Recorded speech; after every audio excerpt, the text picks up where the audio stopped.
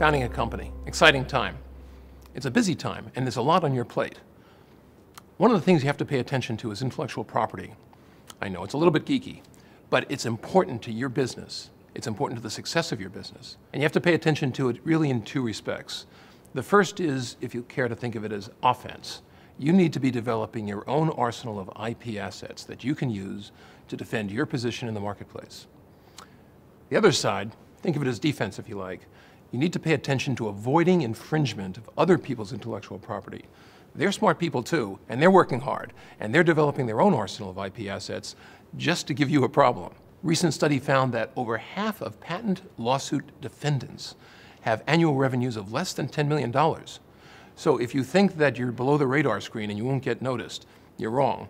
They will find you, they will come after you, and that's a distraction and an expense that you need to avoid. So paying attention to your own IP assets, paying attention to avoiding the infringement of others' IP assets, these are the things that you need to pay attention to along with everything else you've got going on as you develop your product and your company. So what do we mean by IP or intellectual property? Well, there are a number of different forms of intellectual property, but what I want you to have in mind is that intellectual property has to be developed in accordance with a strategy, an IP strategy.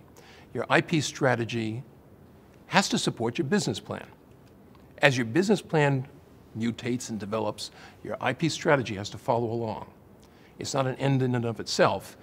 Your IP strategy is a support vehicle for your business plan.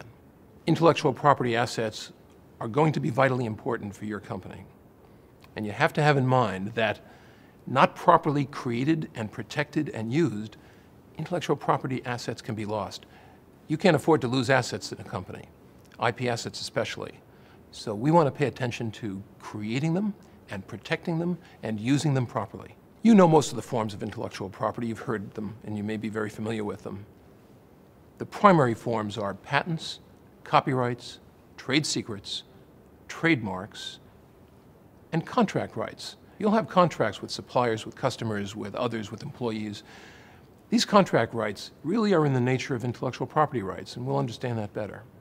The point you have to have in mind is that integrating these various forms of intellectual property together is far more powerful than any one alone. You need to work with counsel to determine which forms of intellectual property protection are most suitable for your company and your budget, and how to integrate them together, maybe some patents together with some copyrights and some trademarks. So what are we going to do to get you in good shape on the IP front? Well, we're going to have an intellectual property strategy in place for your company.